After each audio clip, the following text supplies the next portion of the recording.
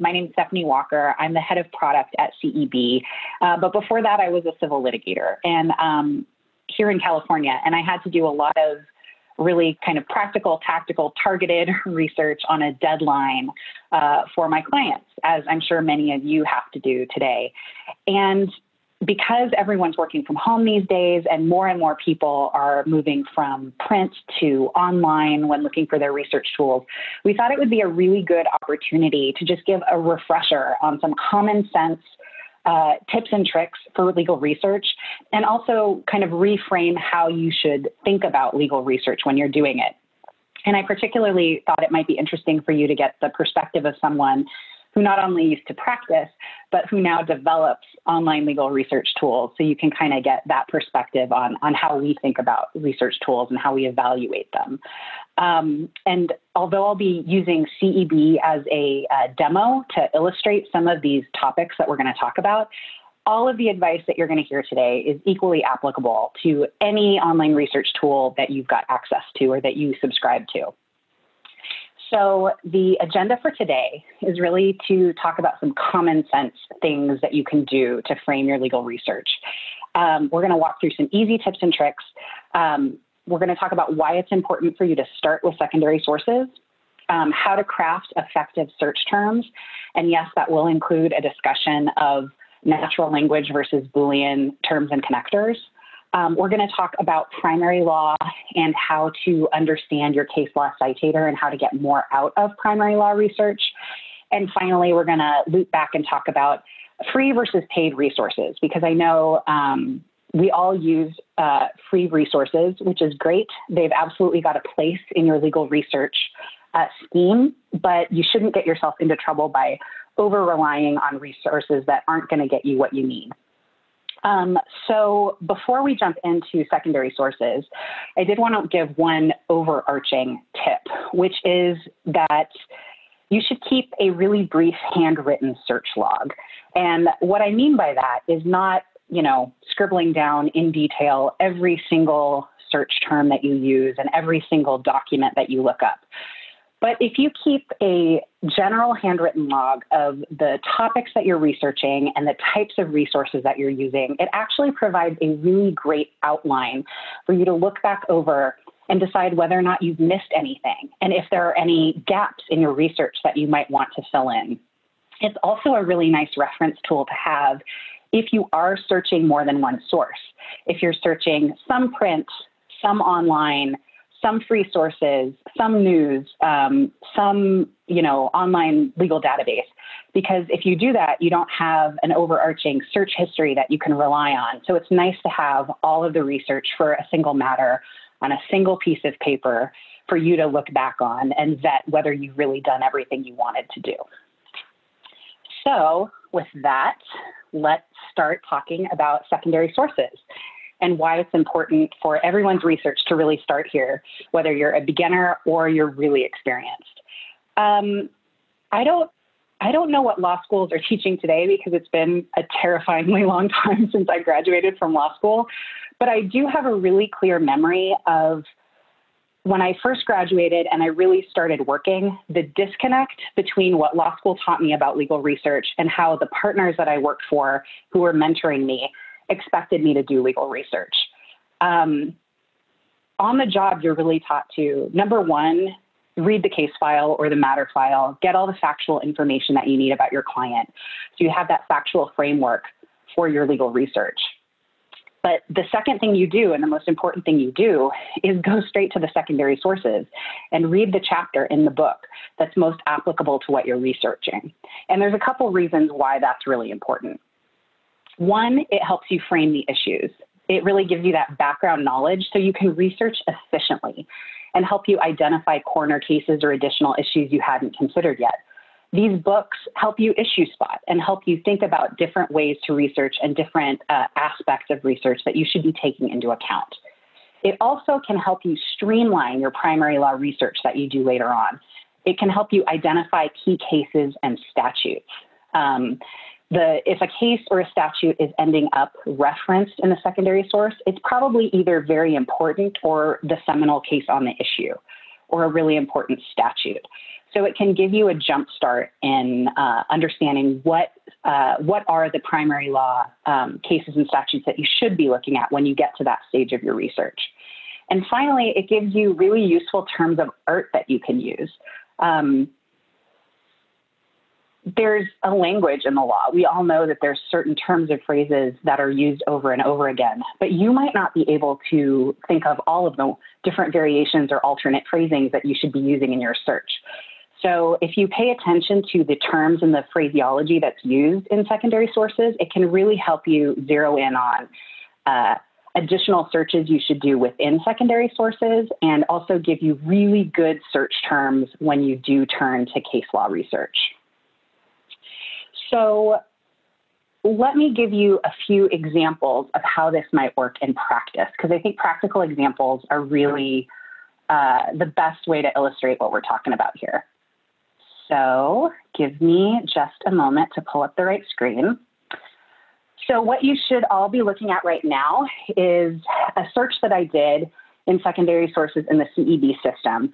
And um, let's say, for the sake of argument, that I am a business attorney and I spend most of my time drafting contracts and negotiating licensing agreements for my clients.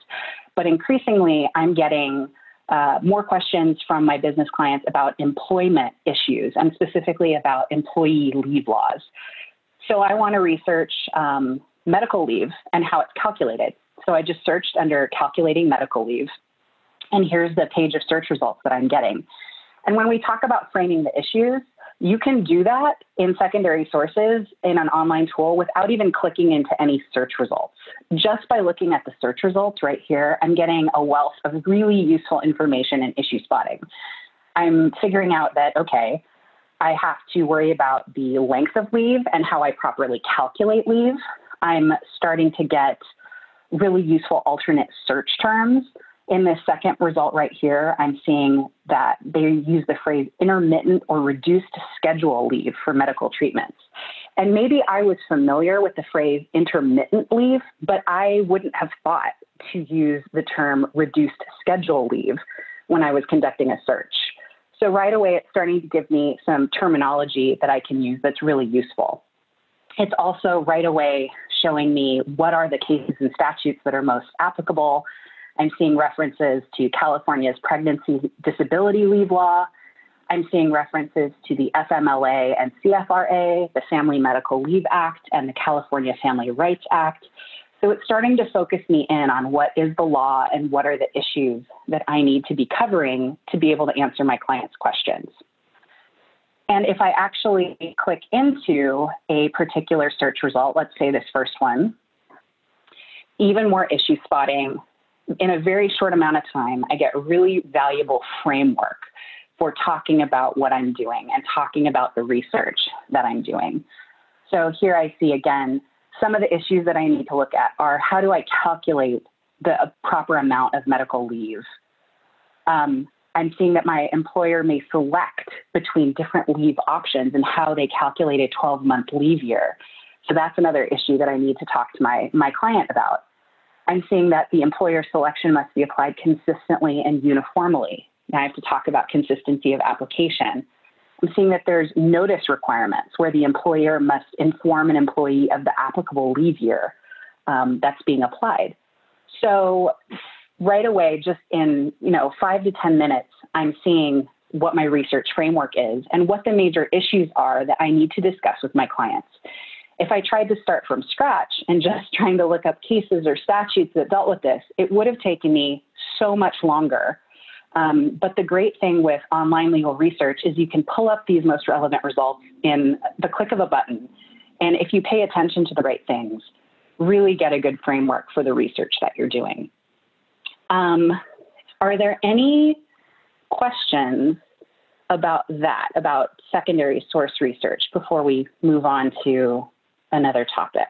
We have one question. Um, sure. This question is When doing research, could we focus on a specific state's law? Um, I'm not sure. I, uh, so I, I'm not 100% sure I understand the question. Um, if you're, I don't know if you're asking in a particular system or if you're asking um, just as a a practical matter of what, what best practices would be. Okay, that question was from an anonymous attendee. So if you want to jump back in yeah. and clarify your question, that'd be great. Uh, but we do have another question here. Oh, I think that's from that attendee. The example, for example, California's employment law. When doing yeah, research, so, could we focus on a specific state's law? For example, California employment law. Well, I think I mean, I, I think you should. I think so. Let me let me try and answer your question from a couple different angles. Um, I think the more specific the research that you can do, the better. Um, obviously, it, it's dependent on the legal question that you're facing. If there are federal statutes and federal cases that are applicable to your question, obviously you should research those too. But if you're if if the legal issue that you're looking at does primarily involve California cases, then yes, absolutely, you should focus on um, on those questions and on the California law that's being specifically applied. Um, as to you know how to do that, you, I mean, it's just a matter of what you're using and the resources that you're using um, to get to get the job done. In um, in the CEB system, for example, we're California focused, and so um, this search was really already limited to California specific um, responses because I'm searching through CEB practice guides, which are California focused and deal with the, the state and federal issues that impact California lawyers. So part of making a good legal research plan is knowing what you've got and knowing what you're searching in the first place and knowing what filters you can apply. Um, I hope that answered your question. Mm-hmm. And so when you're doing a secondary source, um, Stephanie, you can get hundreds and hundreds of results. Mm-hmm. Do you have any tips on, you know, quickly finding the correct secondary source that you're looking for? Well, that's actually um, a really good segue into cra- the next topic that we've got, which is crafting effective search terms. Um, so maybe let's talk a little bit about that and about what makes an effective search term. So yeah, so I think to answer that question, you really have to talk about how how to create a good search, um, and no two search engines are exactly alike. Um, the results that you get are going to be dependent on a couple of different factors, um, including the system that you're searching and what content is included in that system, the algorithms being used to power both natural language or Boolean terms and connectors searches, and the choices that the engineers and product designers have made to determine relevancy rankings. Everybody's different. There's no kind of one true relevancy ranking. Um, so it's important to know what you've got and what you're searching and what the scope is. Um, but there's a couple things that I do think it's important to keep in mind when crafting a useful search term. And one of those is what we just talked about, which is using key terms and phrases from the secondary sources that you're getting. Um, unfortunately, so for the, the questioner that just asked, this doesn't help you because you're saying I need to get those good secondary sources searches in the first place. Then, what I think you need to think about is um, really familiarizing yourself with how your research tool reacts to natural language versus Boolean terms and connectors.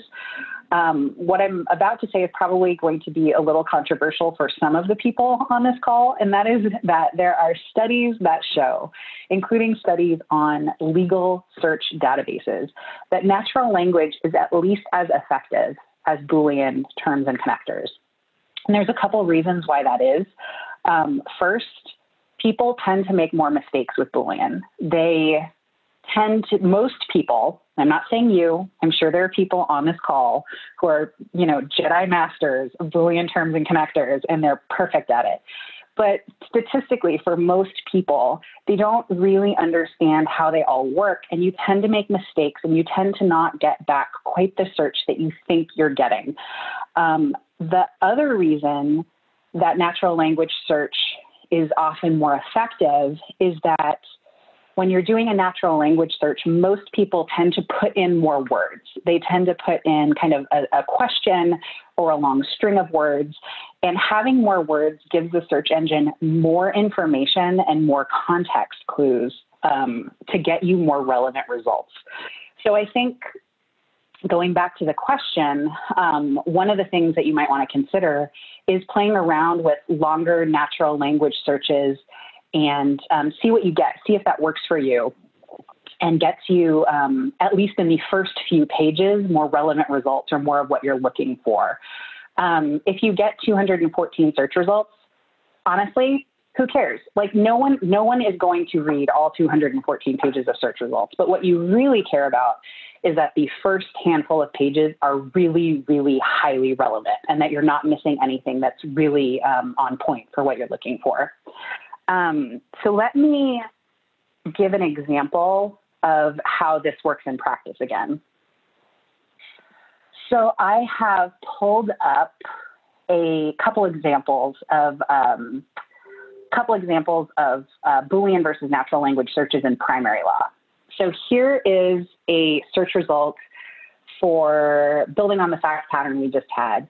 I have searched published California appellate cases for wrongful termination and intermittent medical leave for those two exact phrases, and I got exactly one result, which is not a lot.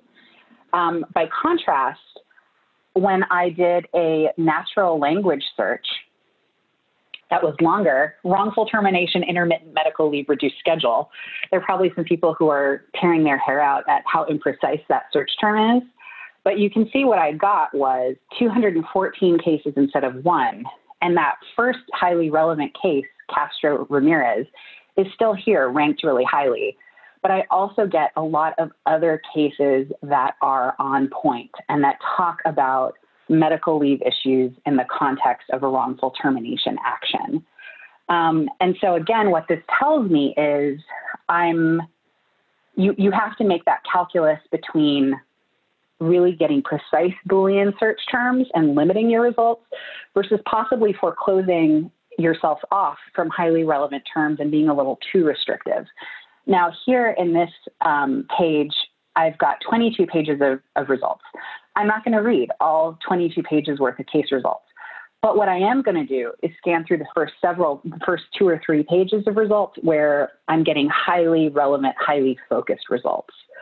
Um, now, some people on this webinar might be thinking that, okay, sure, but her Boolean search wasn't very good. I would have done it better. I would have done it differently. Yeah, okay, that, that's probably a fair point. I can think of a bunch of different ways that I could have used Boolean terms and connectors and that I could have maybe made the search more effective. But the point is that you don't necessarily get better results by having more restrictive searches.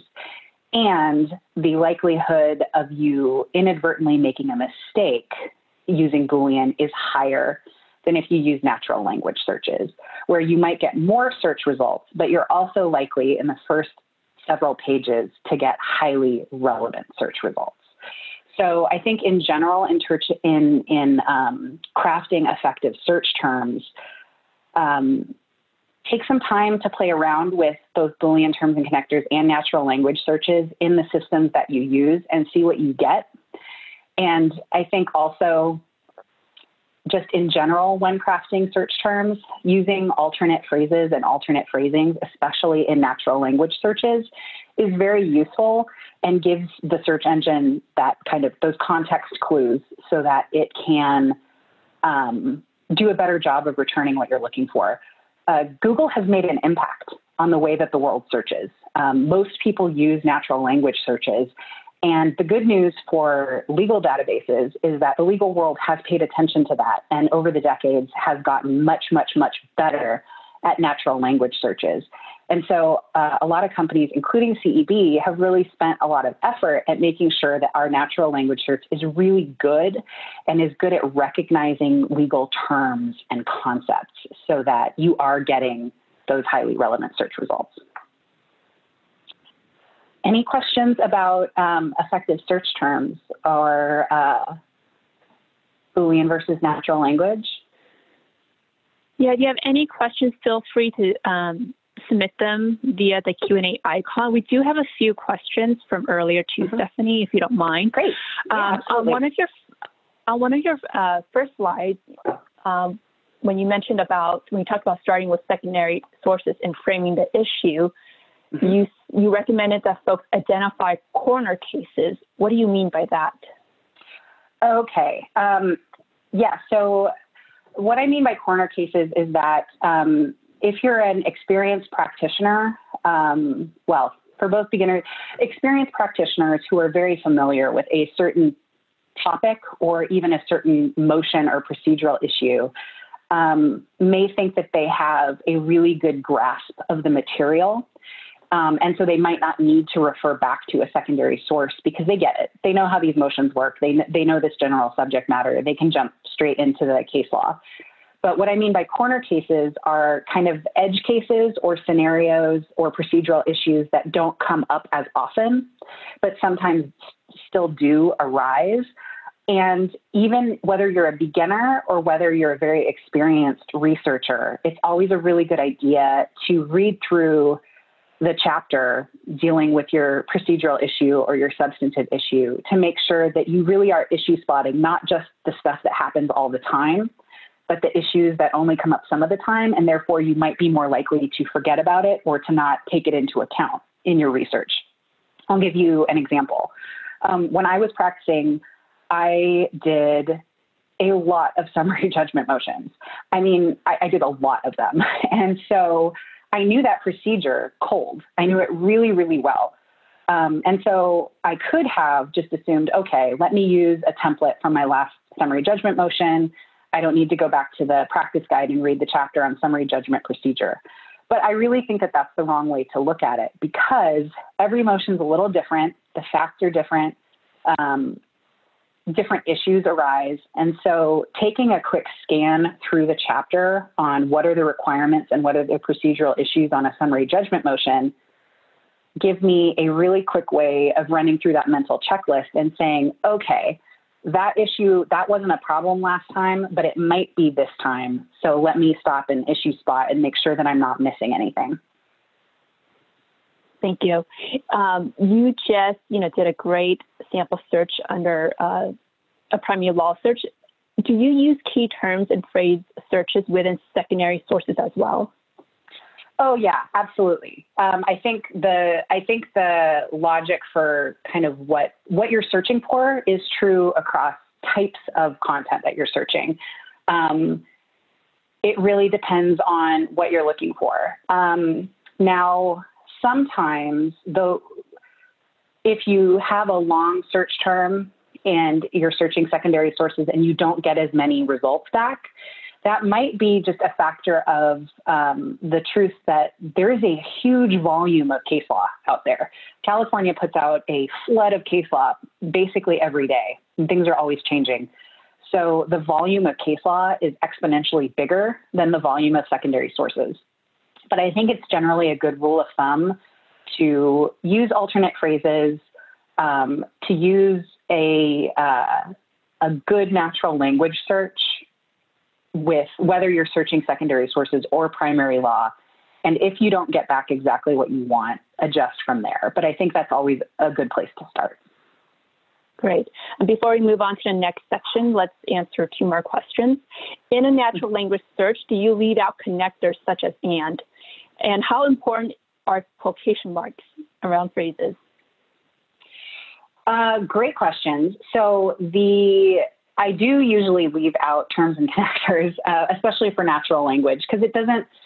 Those words don't really give the search engine any as much to work with because those those words and phrases are kind of ubiquitous. Um, if the exception to that is if the word and is part of a term of art. So, for example, um, in criminal law, search and seizure is a term of art that is used a lot. So I would probably type in search and seizure as is because that's part of the term of art. But if I was searching, you know, uh, search and seizure motion to suppress evidence, I probably wouldn't put in search and seizure and motion to suppress. Um, so that's kind of how I would I would approach that. Um, when it comes to quotation marks, you don't really so quotation marks are gets you exact phrasing. Um, do you want to find the exact phrase inside your quotation marks? And usually for natural language, I don't I don't insert those. And the reason for that is is that You may again inadvertently eliminate relevant results if if the document doesn't have that exact phrase, but it has a very similar phrase in it that's still relevant. So, not including the um, quotation marks will sometimes get you um, results that you would have otherwise not seen. And as I said before, now legal search engines are on the whole pretty good at recognizing specific legal concepts. So you don't necessarily need quotation marks for your search engine to know what you're talking about, basically, and to recognize uh, recognize the concept. All right, so let's move on to talking a little bit more about um, citators and primary law. So, what exactly do I mean by a citator? Well, I mean a citator is a tool that uses color coded flags or other visual indicators to tell you very quickly whether or not a case is still good law or whether it has some negative subsequent history that makes it problematic for you to rely on it or to use it in a memo or a brief or to rely on it in your analysis. It's basically the same thing as uh, shepardizing in Lexis or using KeyCite if you're in Westlaw. You're checking the subsequent history of the case to make sure that it is still good law. Um, and similar to what we discussed regarding Boolean terms and connectors versus natural language, I think the most important thing to keep in mind for using a case law citator is understanding the tool that you have and understanding that not all citators are the same. Um, there are gaps and limitations to some citators, and you just have to know what you've got. And when you are building a citator, there are some choices that the team building it has to make. And one of those choices is whether you're going to rely on computer review alone or whether you're also going to take into account kind of human expert review by lawyers for the case. And the best results and the most accurate and nuanced citators you will find if your citator uses a combination of a high quality computer algorithm plus human review, where a lawyer with subject matter expertise is also reviewing the case and making sure that everything is accurate. Um, so, number one, just know what you've got and know what the limitations of your particular citator are. Um, the second one is really understanding what the flags mean. The visual indicators are different in every single system um, the red flag might mean slightly different things in different systems. And a red flag might not necessarily mean you can't or shouldn't use the case, depending on your circumstances. Um, I think a lot of lawyers, because they want to make sure that they are citing highly relevant cases, will frequently just eliminate any case with a orange or a red flag immediately without looking at them. And I used to do that too, honestly, because I wanted to make sure that there was just no question about whether or not um, I was relying on good law. But the fact of the matter is, especially if there aren't other cases um, that support the point you're trying to make, if the red flag indicator is talking about a completely different issue than the one you're relying on the case for, you could probably still use it, and you probably should, especially if it's directly on point. So we'll get into that a little bit more when I pull up the demo. Um, and the last thing tip that I want to give people on using um, primary law search and, and using citators is use the filters that you're given. In a lot of systems, lawyers don't use really valuable filters that they're given to narrow and refine um, a long list of cases to get the ones that are most meaningful to them.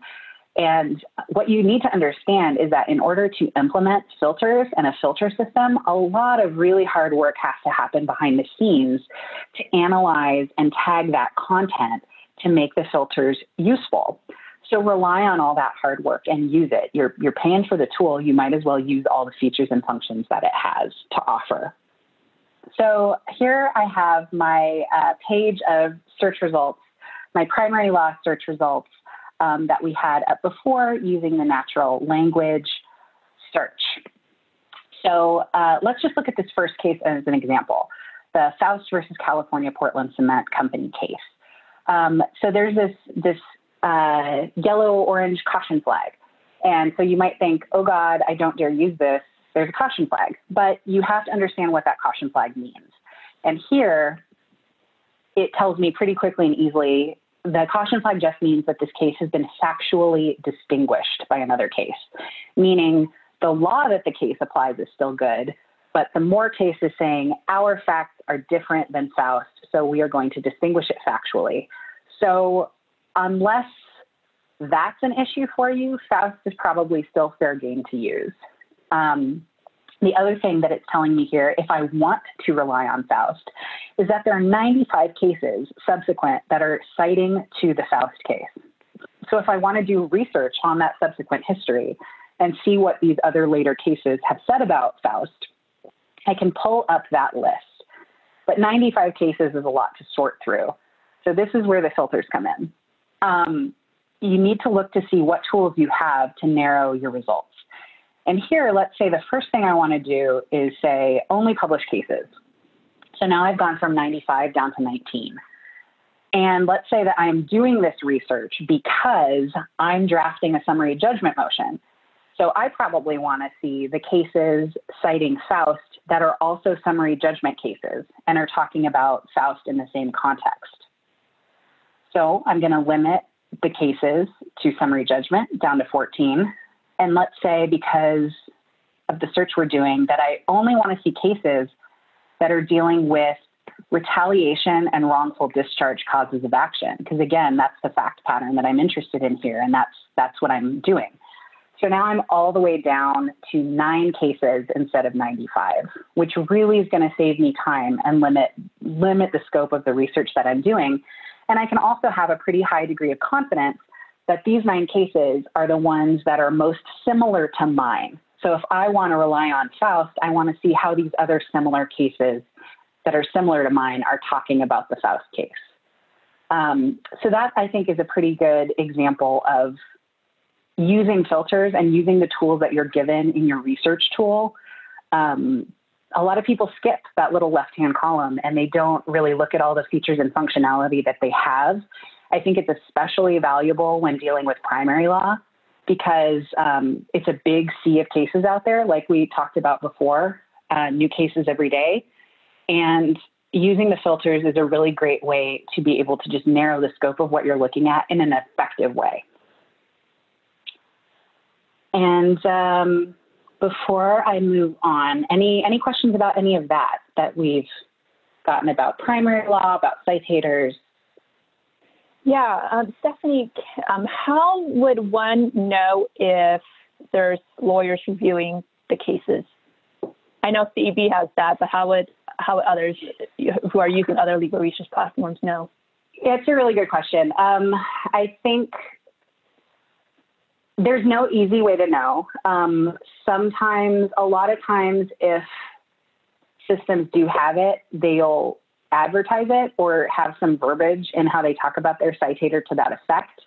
Um, sometimes you can get a clue in the name of the citator itself if it kind of has like a computer-ish name. Um, but honestly, sometimes you, sh- you could ask if you're vetting if you're vetting products or if you're thinking about switching systems.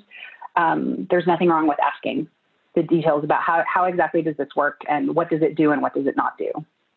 Mm-hmm. And a little while ago, you were talking about all the different filters and how everyone should take advantage of them since they're paying for them. Um, can you give us some examples of filters that are available? Well, I can't tell you for every single system that's out there um, what filters are and are not available. You, will have to look and see for your particular research tool.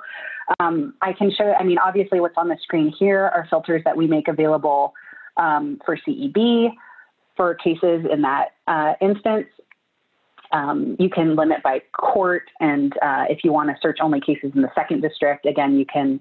I really like being able to filter by cause of action and procedural posture. I think that's highly useful. Um, but depending on the type of resource that you're searching, for instance, secondary sources, primary law, or something else, and depending on the system you have, there probably will be different filters. A lot of um, so you you just have to do a little research and see what's what's available to you. Um, but I think really at the end of the day, you should look to see what is available to you because uh, regardless of what's there, I guarantee it's underused. Okay, so the last thing I wanted to talk about today was uh, free versus paid resources. So um, I am not going to be the girl who tells you not to use them because if I did, I would be a giant hypocrite. Um, I used uh, free resources all the time when I was uh, when I was practicing. You, I used Google, I used Wikipedia, I used news blogs, legal blogs, uh, just like industry industry resources for particular clients. Um, they're great, and you can get a lot of really great context for them. But I do think that you should understand how free resources fit into the bigger picture of your legal research plan and what you're trying to do. Because relying solely on free um, resources is frequently a bad idea because unfortunately you get what you pay for. And you'll probably miss a lot of really useful information, analysis, and nuance. But augmenting your legal research with free resources and knowing how to do that and when is a great idea. So, this is how I think about the utility of free resources. I think it can really do these things really well. First, it can help you understand new developments. Um, if there is a new, brand new case that just popped up, or if there's unanswered questions in the law, you're not going to get analysis in your secondary sources dealing with that issue because the case is too new or the question's unanswered. But what you might get is a expert in a legal blog somewhere giving a really highly valuable, nuanced opinion about how this new case might shake out or how they anticipate the, the, the courts uh, interpreting a new statute. And you can get really great, really useful information to kind of help you issue spot and frame the issues for new developments. Um, and I think a very, very, very useful thing to use free resources for is getting the client's perspective um, we are at the end of the day service providers as lawyers. We have to do a service for a client. And I still run into a significant number of lawyers who think that their only main job is to tell their client the right answer from the legal perspective. And they don't really take into account the way they should the client's either personal or business motivations for what they care about and what they're trying to accomplish. Um, so if you only look at purely legal resources and you don't read the news and you don't look at how kind of industry professionals in your client's industry are looking at things, or if you don't get that human perspective, you're likely to miss the core concerns that your clients have. And you're going to be less able to address those concerns effectively and to link those business concerns or personal concerns with a sound legal strategy.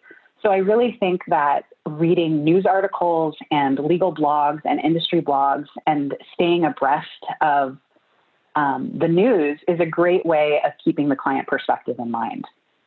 Um, it's also a great way to get information on niche legal topics that you might not have coverage of. Um, my favorite example that I always give for this is that I had one case, one case where I had to learn about admiralty law and how to arrest a vessel, which is not something that I ever had to do before or since. And obviously, my firm didn't have any resources on admiralty law or how to arrest a vessel. We weren't going to invest in them because it was a one time issue that was not going to repeat itself. But then go to your local law library, go back to your law school library, go to your county law library, um, look up free articles on the internet. You know, do what you can to get coverage of that niche issue um, without having to pay for it. I think that's 100% fine and completely reasonable. But so I think using free resources to augment your other legal research plan is a really great way to go. Um, and going back to this first point about understanding new developments, here's kind of an example of what I mean. This was an article that we put out, I think, yeah, April, back in April, talking about how the coronavirus is presenting new issues for residential landlords and tenants. So, if I'm a real property lawyer and I'm representing either residential landlords or tenants, a lot of these questions are brand new and there aren't answers for them yet. And we don't know how these issues are going to shake out. But this article was still highly useful in just issue spotting for me. Some of the things that I might want to talk to my clients about um, to see if it's a concern, if it's an issue at their particular property, so I can start brainstorming what to do about them. Because even though there might not be an answer about how do I tackle any of these issues because they're all so new, you can't do anything to address the issues if you don't know that they exist. So, a lot of times, legal blogs and topical articles can do a really, really fantastic job of issue spotting and just making you aware of new issues that you didn't even know existed. Well, that's actually all I've got at the moment. So if anyone does have any last minute questions, please send them now, and I'm sure Kelly will tell me what they are. Um, otherwise, we'll give you back the rest of your lunch hour and your day. Um, are you seeing anything pop in, Kelly? Yes. Um, how do you feel about Google? Speaking of free resources. Okay, so I actually love Google. um, I I think I think it really depends on what you're trying to get out of it. Obviously, if you're using Google Scholar to look up cases, you're not going to get very far because because it doesn't have any of the tagging or any of the citator information or any of the advanced filters that you're going to get in another system. So if you're looking to do serious case law research, Google Scholar is not a great option. Um, conversely, just regular Google, um, I mean, I think it's a, it's a really good search engine. And so I think it depends on what you're looking for. You're not going to find really in depth legal analysis on Google because um, that lives in legal research databases like CEB, like Westlaw, like any number of legal databases that are out there. However, when it comes to just finding basic information or uh, frame or legal news articles or blogs or look, I, I have absolutely been in the situation where a new concept came up and I had no idea what it meant. And so I Googled it and I looked at the Wikipedia page first, but I didn't stop there and only rely on the Wikipedia page. What the Wikipedia page does is give you a little bit of a framework for understanding what you're looking at. And then you know enough to go into a legal search engine and do a more serious and more targeted search. So I love Google. I adore it, but it can't be the only thing that you use. Here, here's a great question. Um, do you have any thoughts on how to check the accuracy of those free resources? I think that's the problem is that there's no good way to do it. And to do it seriously would be so time consuming that it's a waste of time and money. I mean, there, there isn't really a great way to check accuracy. The only way you can do that is to cross reference it against other materials, and you probably might not have a lot of materials that would really give you an accurate view of those free resources. And so I think unfortunately there's no real good way to do it. You when it comes to legal blogs and legal news sites, you just have to kind of find some that you think are reputable and that seem to do a good job and that seem to have high quality analysis. That I think you can just gut check yourself on. You know, is this person thoughtful and giving me good analysis? But um, mm-hmm. but other than that, it, it it is it is difficult. It is difficult to vet, and that's part of why free resources can be really problematic. Mm-hmm. And what is your strategy for knowing when to stop your research versus continuing to look for more and more information? Um, that is an excellent question. And I think partially that is something that every lawyer just has to get your own kind of feeling on. But a couple of the things that I do is if you have a list of the issues that you're actually trying to research, written down on a piece of paper so that you can refer to them. Um, and if you start to notice that your research is sending you far afield or the issues that or tangents that you've gone off um, are not really directly applicable to the core questions that you're researching or that you meant to research, maybe that's a sign that you're you're you should turn around and go back. I think another good way to look at it is if you are doing a few well crafted legal searches and you start to find um, repeat resources, if you start seeing the same cases over and over again, and you start seeing the same um, the same results in secondary sources searching two or three different ways that's a good signal that you're that you're you're finding you're not missing much. When you when you start finding repeat duplicate responses that's actually a good thing a lot of a lot of the time. Mm-hmm. and are you familiar with um, findlaw.com for researching cases and codes? Only very very vaguely. Um, you know like only very vaguely. I, I don't. I haven't used it uh, extensively, so I can't probably talk at length about it. Uh, and what are you? Well, you you mentioned about you know keeping a written log of your research. Mm-hmm. Um, do you have any suggestions or tips on how to keep a written log of your research? Um, sure. I think. I mean, I don't.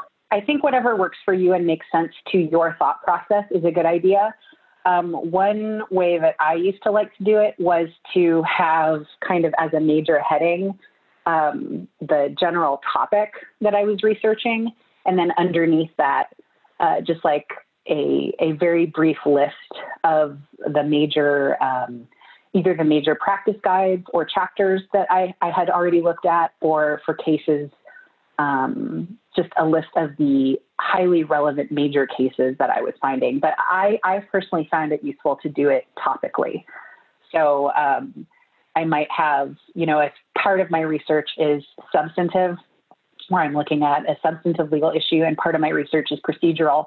Maybe I have um, two different sections of the paper or two different sheets of paper, one for the procedural research and one for the kind of topical employment law specific research. Mm-hmm. And what do you, or I guess CEB, uh, use for daily published cases? As in, where do we get them? Or what do we use? I mean, I, I can't get into all the details, but I will, what I can say is that CEB gets new case law on a daily basis um, and work really hard to keep things up to date. So um, everybody uses a slightly different way of getting cases. Obviously, I can't talk about other entities and what they do, but for us, what we focus on is just making sure that we have a highly reliable, um, consistent, timely feed for to analyze and to and to feed the Citator tool.